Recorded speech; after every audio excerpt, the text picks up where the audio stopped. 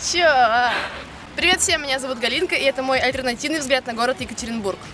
Мы наконец-таки добрались на Химаш. Ну как мы? Изменился формат блога. Я когда-нибудь об этом расскажу подробнее, но не сейчас. У меня даже оператор новый. Привет всем. Мы как будто бы на море приехали. Я специально для этого выпуска спросила у хорошей моей подруги, что же здесь такого поснимать. После смеха долгого и криков «беги оттуда и не снимай ничего», она сказала, что можно, в принципе, снять панораму Нижнесетского пруда, что мы и делаем сейчас. Мы приехали сюда, здесь обмелело тут сильно. Наверное, здесь должна быть вода, ну, в общем... О, смотри, птичка ходит, смотри, это гуска какая-то, трясогуска или кто это? Смотри, вон, видишь, маленькая? Галя, я ничего не вижу, мне солнце в глаза светит. Сам район Химаш основан в 1942 году. Врать не хочу, но, по-моему, Уралмаш и Ильмаш строились также вокруг завода. Собственно говоря, Турчермет также возник, и, наверное, полстраны нашей также возникло. Был построен завод, вокруг него образовался рабочий поселок, и он разросся в целый микрорайон. Завод так и называется Химаш, ну или Уральский завод э, химического машиностроения. Тут вообще очень заметно, что он построен очень давно, настолько все обмелело.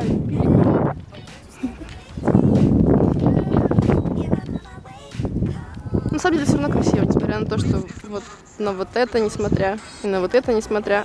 Фотоаппарат при нас, сумки при нас, все при нас, как бы нас никто не трогает. Нам единственное, что свистнули пару раз, когда мы шли сюда. Миролюбивый район, все меняется. Даже я слышала, на Уралмаше были убийства, сейчас там уже просто бьют. И на Химаше, мне кажется, та же тема. Ну, все хорошо. Тут подумала, что я какой-то провод значительный выкопала. Я сначала испугалась, что этот провод ведет куда-нибудь в ад. Покажи вон ту штуку, мы вообще из-за нее подошли. Таня увидела вот эту дрянь, которая лежит, ну не посреди, конечно, пруда, но лежит. Мы пытаемся снять красоту. Не улетай, не улетай, не улетай.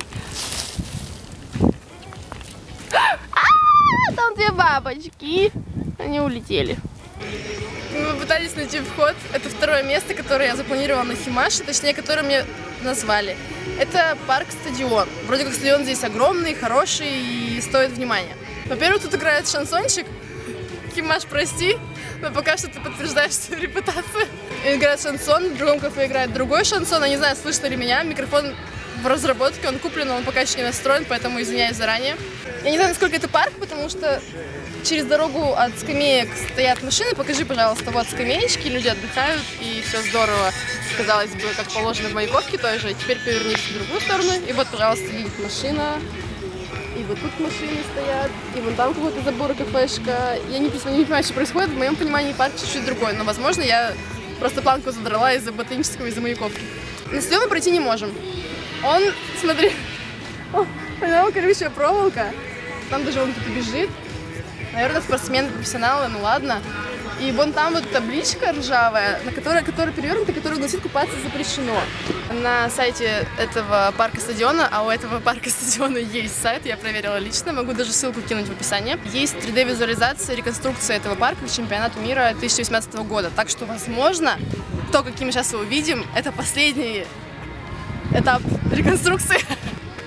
Ладно, это первый этап реконструкции, надеюсь. Я, конечно, не вижу строительных машин, но мы проверим. И посмотрим, может быть, действительно после 2016 года здесь будет красота красотушная. И прямо будем сюда ходить и ездить, и говорить, как же здорово теперь здесь. Парк этот работает ежедневно с 9 до 10. Деревья высокие, здесь очень красиво, и есть чем дышать. Я ценю эти места в городе, поэтому я галочку себе поставила на самом деле. Голуби здесь настолько жирные, что у меня все время ощущение, что за меня ходят люди, мне страшно. Это пятый выпуск моего блога. Кто не понимает, о чем идет речь, или вообще, почему я здесь снимаю, и что я здесь делаю, и прочее, и прочее, и прочее, заходите на мой паблик ВКонтакте, на мой канал на Ютубе, смотрите первые четыре выпуска, а может и не смотрите, можете начать с этого выпуска, потому что формат изменился. Как видите, карты у меня за спиной нет, и все изменилось. А, я немножко изменилась, я челочку отпустила. Да, может быть, накачалась, там, не знаю. Ну, в общем, не суть. Конечно же, ставьте лайки, комментируйте. Я жду новых предложений, и я по-прежнему хожу по районам. Кто найдет мою карту, прошу вернуть. Я просто не помню, где она. Ой, тут птички разговаривают.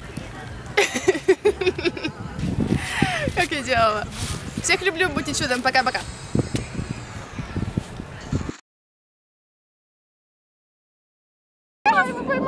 Не поймала? Поймала, поймала. Как ближе-то сделать? Что? Как ближе сделать? Вот так. Вот, сюда. Блин, я ни хрена не вижу, как я его